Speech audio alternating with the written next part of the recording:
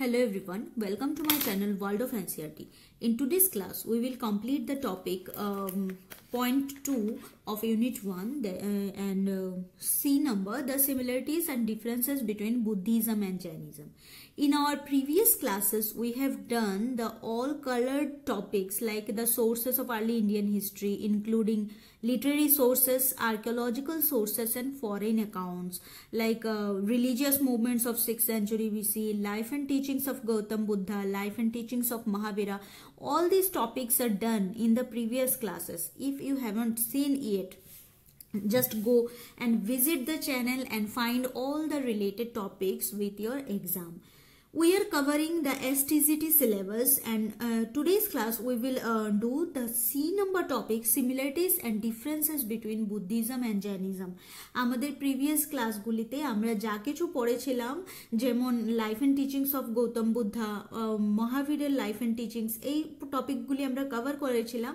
আজকে এটা third topic যেটা রয়ে গিয়েছিল আমি কমপ্লিট করাইনি ওইটা হচ্ছে similarities and differences between Buddhism and Jainism তো এটা নিয়ে আমরা ডিসকাস করব। এর আগে আপনি যদি প্রথমবার চ্যানেলটাতে ভিজিট করে থাকেন, তাহলে নিশ্চয়ই বাকি টপিকগুলি প্রিভিয়াস ভিডিওসে গিয়ে দেখবেন। একদম সিস্টেমেটিক্যালি সব কয়টা আপনি পেয়ে যাবেন। এসটিজিটি হিস্ট্রি প্লেলিস্টে গিয়ে চেক করবেন, ওইখানে সব কিছু পেয়ে যাবেন। যা যেটা আপনার আপকামিং এক্সামের জন্যে খুব সম্ভবত লাস্ট ইয়ারও কোনো টেট এক্সাম হয়নি বা এসটিজিটি এক্সাম যেটা হয়েছিল এটাও ঝুলে আছে। কিন্তু এইবার ইলেকশনের পরপরই খুব সম্ভাবনা করা হচ্ছে যে এপ্রিলের পর নোটিফিকেশন বেরোতে পারে ট্যাটের এবং এসটিজিটির আর এই হিস্ট্রি সিলেবাসটা সব কয়টা টপিকের ক্ষেত্রেই খুব ইম্পর্ট্যান্ট সব কয়টা এক্সামের জন্য ইম্পর্ট্যান্ট তো আজকের ভিডিওতে আমরা সিমিলারিটিস অ্যান্ড ডিফারেন্সেস দেখব। তো Buddhism and Jainism almost same টাইমে হয়েছিল। দুইটা বুদ্ধিস্ট রিলিজিয়ানটা কখন হয়েছিল এবং কি কি কারণে হয়েছিল? জৈন রিলিজিয়ানটাও বুদ্ধিস্ট থেকে একটু আগে শুরু হয়েছিল, কিন্তু কন্টেম্পোরারি আমরা বলতে পারি অলমোস্ট সমসাময়িক ছিল। এট দ্য সেম টাইম যে সোশিয়াল কারণগুলি ছিল, অর্থনৈতিক কারণ ছিল, এই জৈনিজম আর বুদ্ধিজম উদ্ভব হওয়ার পিছনে, এটা আমরা প্রিভিয়াস ভিডিওসগুলিতে ডিসকাস করেছি। আপনারা যদি দেখে না থাকেন প্লিজ ভিজিট করবেন একটু। আজকে আমরা দেখব যে বুদ্ধিজম আর জেনিজমের মধ্যে একদম বেসিক ডিফারেন্সেসটি কি ছিল এবং কোথা থেকে মেইন যে ডিফারেন্সগুলো শুরু হয়েছিল, আজকে আমাদের টপিক হচ্ছে এটা। এখানেই আমরা দেখব ডিফারেন্সেস তো ডিফারেন্স দেখার ক্ষেত্রে আমি সবার আগের যে পয়েন্টটা করব, এটা হচ্ছে বুদ্ধিজম অ্যান্ড জেনিজম থেকে যখন আমরা কোনো একটা কিছু নেব, ওদের টিচিং স্টাইলটা ওদের উদ্ভবের টাইমটা কোন সময়ে শুরু হয়েছিল, ওই সব কিছুই ডিফারেন্ট ছিল, কিন্তু তাদের যে মতাদর্শটা অনেক ক্ষেত্রে মিল ছিল। তো আমরা ডিফারেন্সেও দেখব আর সিমিলারিটিস মানে হচ্ছে তাদের মধ্যে মিল কি কি ছিল। তো চলুন শুরু করি। প্রথমেই আমরা দেখি যে সিমিলারিটিস অ্যান্ড ডিফারেন্সেস বিটুইন জৈনিজমের আন্ডারে সিমিলারিটিস কি ছিল? সিমিলারিটি ছিল both hailed from royal families যে যে শুরু করেছিল বুদ্ধিজম আর যে জেনিজম শুরু করেছিল, দুইজন যে প্রবক্তা সরি জেনিজম শুরু না অ্যাকচুয়ালি জেনিজম আমরা মানি যে যার থেকে শুরু হয়েছে, উনার তারা দুইজনই রয়্যাল ফ্যামিলি থেকে বিলং করতেন। গৌতম গৌতম বুদ্ধ এবং মহাবীর দুইজনই রয়্যাল ফ্যামিলি। মানে তারা রাজপুত্র ছিল, তারা রাজ পরিবার ছেড়ে এই লাইনে এসেছিল। তো এটা একটা সিমিলারিটিস আমরা দুইজনের ক্ষেত্রে দেখি যে তারা আপার ক্লাস থেকে বিলং করত। তারা যখন দেখল সোসাইটির মধ্যে এত বেশি ক্রাইসিস তো দুইজনই ওই ফ্যামিলি ব্যাকগ্রাউন্ড ছেড়ে আধ্যাত্মিক লাইনে আসার ডিসিশন নিল। এটা হচ্ছে প্রথম সিমিলারিটিস সেকেন্ড সিমিলারিটিস কি?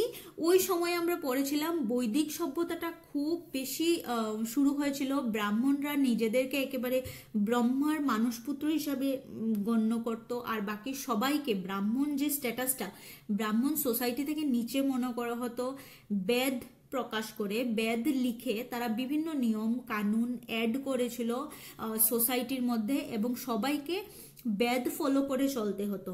বেদাস বা বেদ যেগুলি আমরা পড়ে থাকি, যেখানে মধ্যে হিন্দু শাস্ত্র, হিন্দু নিয়ম নীতি কীরকম সব কিছু এক্সপ্লেন করা থাকে। তো তারা কি করল? তারা দুইজনই গৌতম বুদ্ধ এবং মহাবীর, দুইজনই কি করল? ডিনাই করে দিল বেদকে। বলল, আমরা বেদের অনুযায়ী চলবো না। আমাদের শিষ্য যারা, তারাও বেদ ফলো করবে না। তো ডিনায়াল অফ বেদাস, তারা দুইজনই ডিনাই করেছিলেন। এটা হচ্ছে আরেকটা সিমিলারিটিস বা মিল আমরা দেখতে পাই জৈনিজম আর বুদ্ধিজমের মধ্যে। থার্ড হচ্ছে taught in the language of the common people তো আহ, বেদ কি হতো? বেদ বা ওই সময়ের যে ব্রাহ্মণ সমাজ তারা কি করতো? তারা শিক্ষাদান করতো সংস্কৃতে।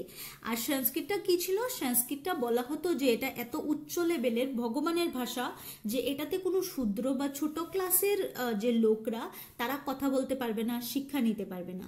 কিন্তু জৈনিজম আর বুদ্ধিজম তারা দুইজনই বলল আমার ল্যাঙ্গুয়েজটা আমি কোন ভাষায় শিক্ষাদান করব? এটা যদি মানুষ নাই বুঝলো, তাহলে আমার শিক্ষাদানের তো কোনো মানে নেই। আমার কথা হচ্ছে, আমি আমার ধর্মের যে মূল বক্তব্যটা, এটা সাধারণ মানুষের কাছে স্প্রেড করব। এবার আপনারা যারা ভিডিওটা দেখছেন বা যারা জানেন যে মুসলিম কমিউনিটি যারা আমরা দেখি, মুসলিম কমিউনিটির মধ্যে কি হয়? তাদের যে মেইন ধর্মগ্রন্থগুলি ধর্মগ্রন্থগুলি হচ্ছে অ্যারাবিকে লেখা। যারা অ্যারাবিক জানে, তারাই ওই বইগুলি পড়তে পারবে।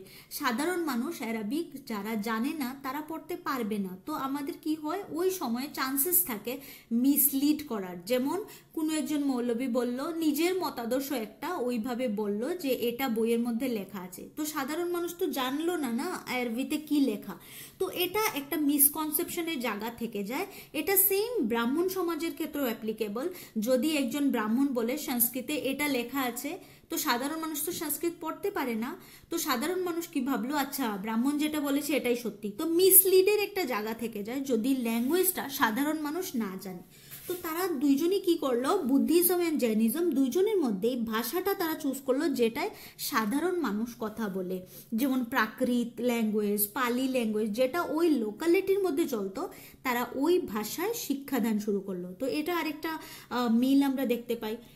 ফোর্থ আমরা দেখতে পাই disciples all the caste and both the genders তো আমরা দুইজনের মধ্যেই দেখতে পারি ডিসাইপলস মানে হচ্ছে শিষ্য। বুদ্ধ ধর্মের শিষ্যরা যে কোনো কাস্টের হতে পারে। তারা কোনো কাস্টের মধ্যে বাজ বিচার করেনি যে ব্রাহ্মণ হলেই আমার শিষ্য হবে বা শূদ্র হলে বা বৈশ্য হলেই আমার শিষ্য হবে।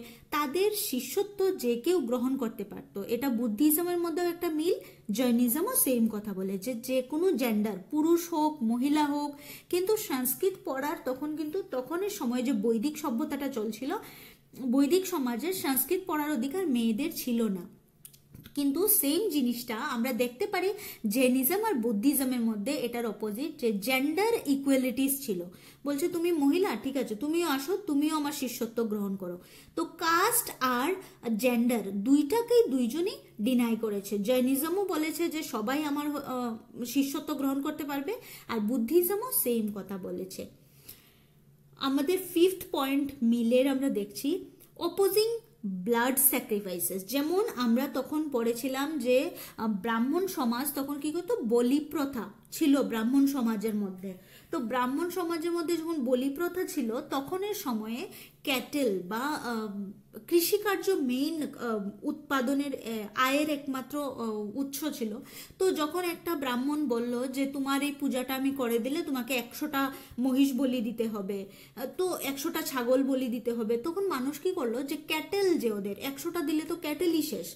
তো মানুষ কি করল? এমন একটা ধর্মে যেতে চাইলো যেখানে এইসব কাটাকুটি স্যাক্রিফাইস বলি প্রথা থাকবে না। তখন এই দুইটা ধর্মের ইমার্জ হলো। যে দুইটা ধর্মই বলল যে আমরা বলি প্রথার বিরোধী, সব জীব হচ্ছে ভগবানের ক্রিয়েশন আর আমরা কোনো জীবকে হত্যার পক্ষপাতিত্ব করি না। তো সাধারণ মানুষ একটা স্বস্তির নিঃশ্বাস ফেলল যে এমন একটা ধর্ম আছে, যেখানে আমি ধর্ম করতে পারব, কিন্তু আমাকে বলি প্রথা গ্রহণ করতে হবে না।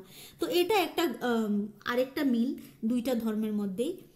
থার্ড সরি সিক্সথ হচ্ছে বিলিভড ইন কর্মা দুইটা ধর্মই বলতো, তোমার যেমন কর্ম, এমনই ফল পাবে। ভালো কর্মের ভালো ফল, খারাপ কর্মের খারাপ ফল। কিন্তু তখন ওইটা বৈদিক সভ্যতাটাকে বৈদিক সোসাইটিকে অপোজ করেছিল। কারণ কিছু কিছু ব্রাহ্মণরা নিজের স্বার্থে তখন প্রচার করেছিল, তোমার কর্ম যেমনই হোক, আমি একটা পূজা করে এটাকে শুদ্ধ বানিয়ে দেব। তোমার পূজার মধ্যে এতটা টাকা দিতে হবে, এতটা ক্যাটেল বলি দিতে হবে, তাহলে তোমার কর্ম শুধরে যাবে।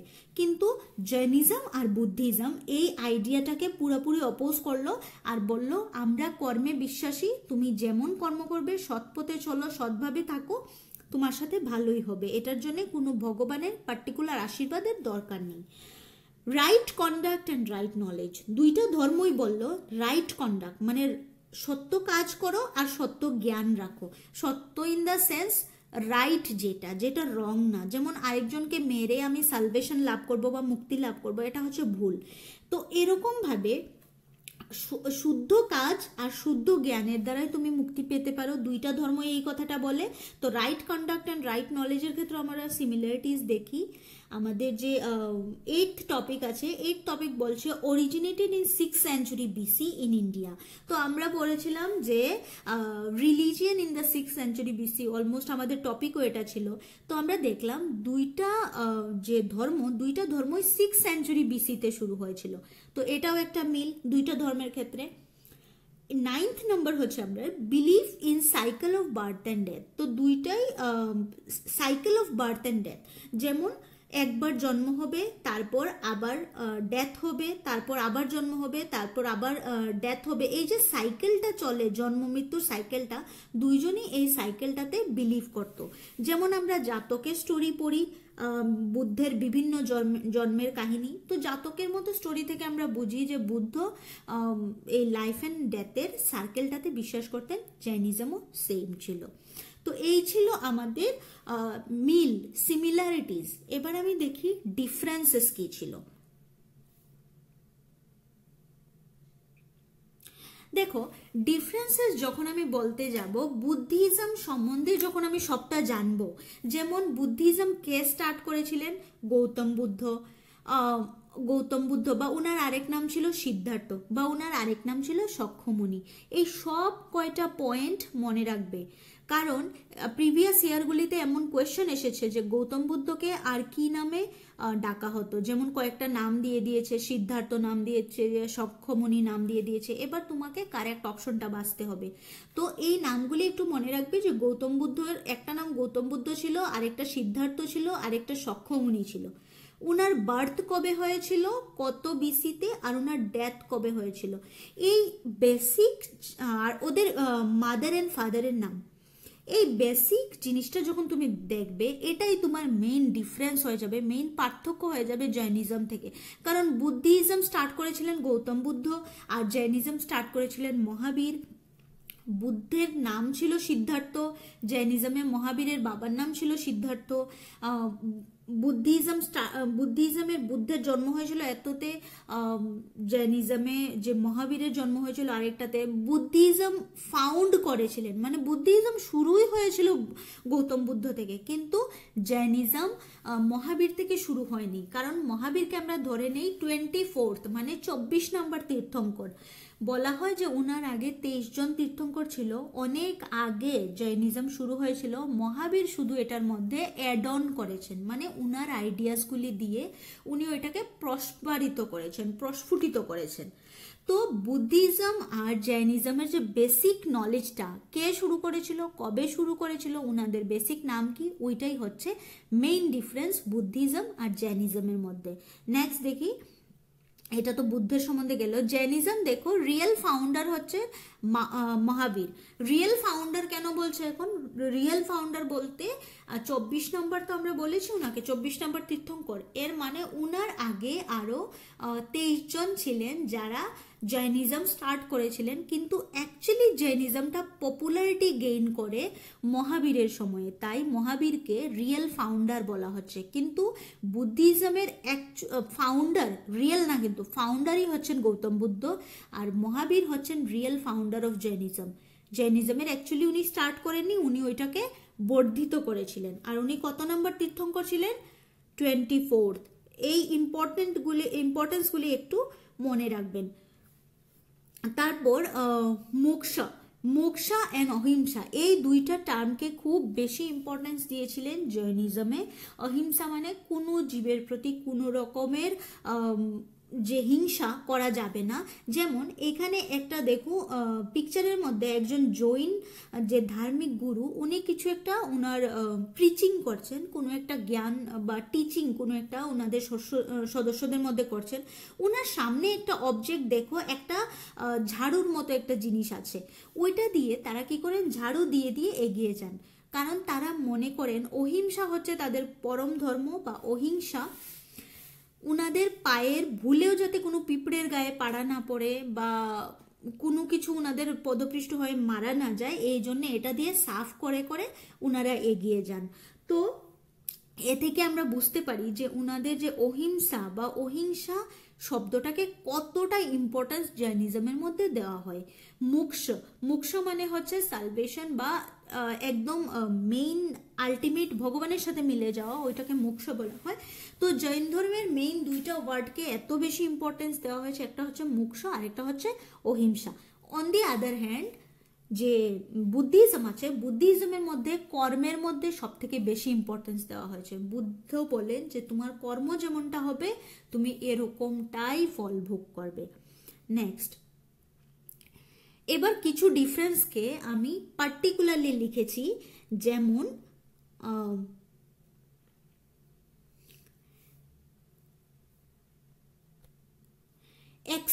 এটা সরি একটু।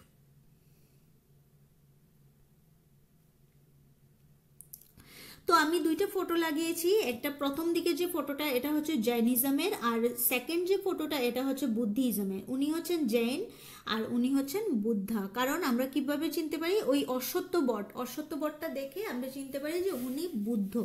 তো বুদ্ধ কি করতেন? Does not accept the idea of soul Buddha যে আত্মার কনসেপ্টটাকে বিশ্বাস করতেন না। উনি মনে করতেন, তোমার শরীরটা যে, তোমার শরীর যে রকমের কর্ম করছে বা তোমার আত্মা কীরকম ফিল করে কোথায় যাবে নেক্সট জীবনে ওই সব কিছু এত বেশি উনি পাত্তা দিতেন না। উনি doesn't accept the idea of soul সোলের আইডিয়াটা নিয়ে বুদ্ধিজমে বেশি কিছু বলা হয়নি।